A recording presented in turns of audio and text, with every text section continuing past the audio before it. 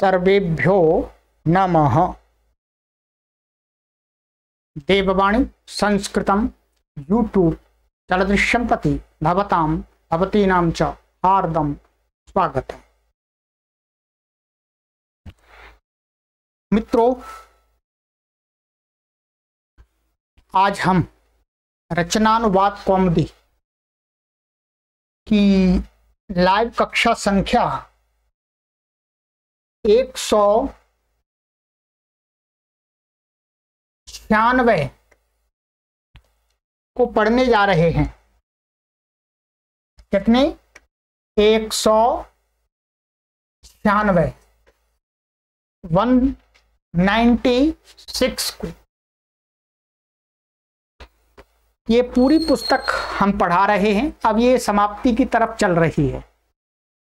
जो भी हमारे चैनल पर नए पाठक जुड़ते हैं और इस कक्षा को यदि वो प्रथम बार देख रहे हैं, इस कोर्स की उन्होंने अन्य कक्षाओं को नहीं पढ़ा है तो आपसे निवेदन कर देना चाहता हूँ कि आप इस पूरी पुस्तक के जो कक्षाएँ हैं, जो कोर्स तैयार किया है, रचनानुवाद कौमुदी नाम का उस प्लेलिस्ट में एक कॉलम है रचनानुवाद कौमुदी उस पर क्लिक करके एक सौ पिचानवे जो अभी तक पढ़ा दी हैं और आगे भी कुछ कक्षाएँ बनेंगी, सभी कक्षाओं को उस प्लेलिस्ट में क्लिक करके क्रमानुसार पढ़ें। तब आपको ये पुस्तक आपकी संस्कृत भाषा को बहुत अच्छा बना देगी। आप जो ग्रामेटिकल जो गल मिस्टेक्स होती हैं, गलतियाँ होती हैं, व्याकरण दृष्टि से वो नहीं करेंगे। आप शुद्ध संस्कृत को लिखेंगे, शुद्ध समझेंगे। ठीक है? चलिएगा। अब आगे चलते हैं। आज हमारा जो चल रहा है, हम एक निबंध, एक पैराग्राफ। निबंध नहीं है, पैराग्राफ है। गत कक्षा में मैंने आपको पढ़ाया था, ग्राम्य जीवन। ठीक है? आज का जो विषय है, वो है शिष्टाचार। आप देख रहे होंगे। शिष्टाचार।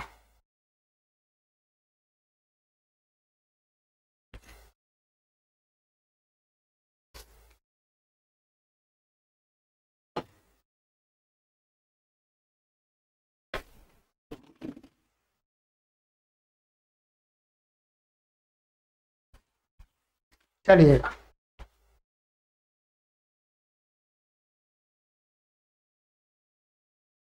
शिष्टाचार। हिंदी को मैं पढ़ के आपको बताता हूँ, फिर आपको उसकी संस्कृत बनानी है और मैं, मैंने इसकी जो संस्कृत बनाई है वो अभी पढ़ के आपको बताऊँगा शिष्टों अर्थात सज्जनों के आचार को शिष्टाचार कहते हैं। सज्जन पुरुष सदा दूसरों का उपकार करते हैं। अपने से बड़ों का आदर और सम्मान करते हैं। दूसरों के दुख में दुखी होते हैं। अपने स्वार्थ की सिद्धि के लिए दूसरों की को हानि नहीं पहुंचाते हैं। मधुर वचन बोलते हैं, प्रत्येक मनुष्य को शिष्टाचार का पालन करना चाहिए। उसका कर्तव्य है कि वह बड़ों की आज्ञा का पालन करे, उनका आदर करे। अपने संबंधियों से प्रेम करे। असत्य न बोले, निरर्थक विवाद न करे, सबसे स्नेह का व्यवहार करे। इसमें जो मोटे मोटे शब्द हैं, जो लिखा हुआ है, इसके लिए यहाँ पर डॉक्टर कपिल देव जी ने नीचे शब्द दिए हैं, उन्हीं का प्रयोग हमें कर लेना है, ठीक है? जैसे उपकुर्वन्ति ज्येष्ठानाम परेशान नापकुर्वन्ति शिष्टाचार। पालनीय ज्येष्ठानाम स्वसंबंधिषु सर्वेशु स्नेहेन व्यवहारेत। तो जहाँ जहाँ क्रम से दिया गया है तो उसी क्रम से हमको कर लेना है, ठीक है? वो मैंने भी किया हुआ है। अब आ जाइएगा मैंने जो आपके लिए, सहयोग के लिए लिखा है, उसको मैं पढ़ के बताता हूँ आपको, ठीक है? देख लीजिएगा। शिष्टाचार शिष्टाचार। शिष्टानाम सज्जनानाम आचार शिष्टाचार कथ्यते। मैंने संधि करके लिखा हुआ, ठीक है? मैंने शिष्टानाम अर्थात सज्जनानाम शिष्ट और सज्जन पर्यायवाची है। तो उनका जो आचार आचार है, वो शिष्टाचार कहा जाता है। यहाँ संधि कर दी है विसर्ग को स को श कर दिया है, ठीक है? सज्जना सदा परेशान उपकुर्वंती सज्जन लोग हमेशा दूसरों का उपकार करते हैं।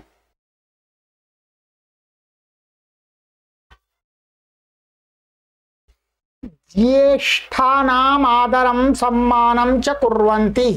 माने अपने से बड़े लोगों का आदर और सम्मान करते हैं।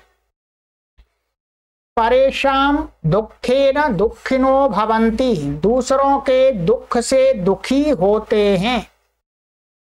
स्वार्थ सिद्ध्यई ये क्या हलंत है, ठीक है स्वार्थ सिद्ध्यई परेशान नाप कुर्वंती अपने, मन अपने स्वार्थ की सिद्धि के लिए दूसरों का नुकसान नहीं करते, हानि नहीं करते हैं। ते मधुराणी वचनानी वदंती वे मधुर वचन बोलते हैं।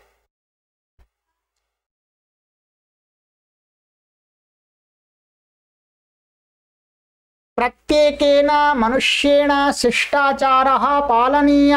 प्रत्येक मनुष्य के द्वारा शिष्टाचार का पालन करना चाहिए। तस्या कर्तव्यमस्ति यत सा ज्येष्ठानाम आज्ञाम पालयेत। उसका कर्तव्य है कि वह ज्येष्ठ लोगों की, अपने से बड़े लोगों की आज्ञा को पाले। तेषाम आदरम कुरियात, उनका आदर करे।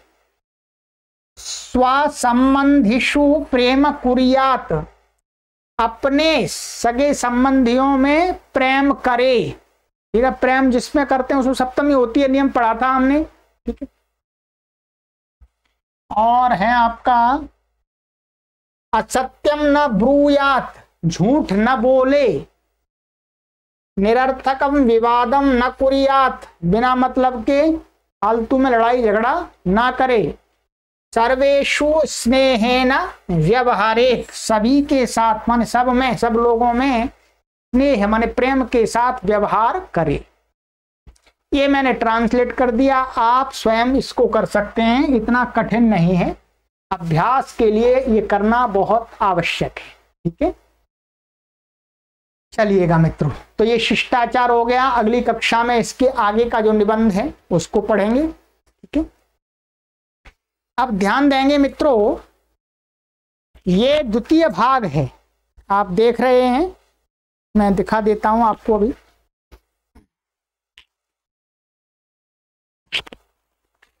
ये इसका द्वितीय भाग है। ये डॉक्टर कपिल देव द्विवेदी जी महाराज जी की तीन पुस्तकें हैं। तीन पुस्तकें हैं ये।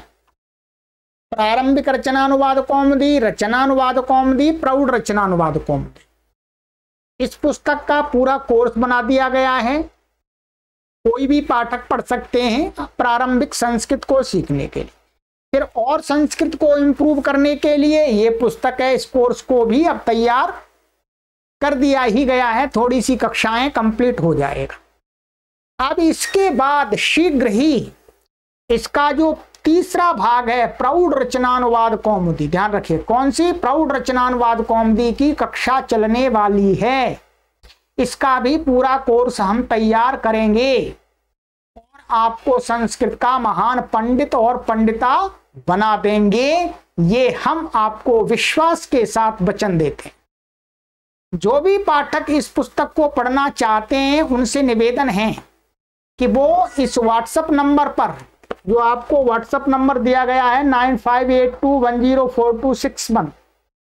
इस पर संपर्क करके अपना इस कक्षा में शामिल होने के लिए संपर्क करें। आपसे कोई शुल्क नहीं लिया जाएगा, कोई फ़ीस नहीं ली जाएगी, केवल आपको लाइव कक्षा का लिंक प्राप्त हो जाए, तदर्थ ये आपको सूचना दी जा रही है, बार बार सूचना नहीं देंगे, ठीक है? चलिएगा।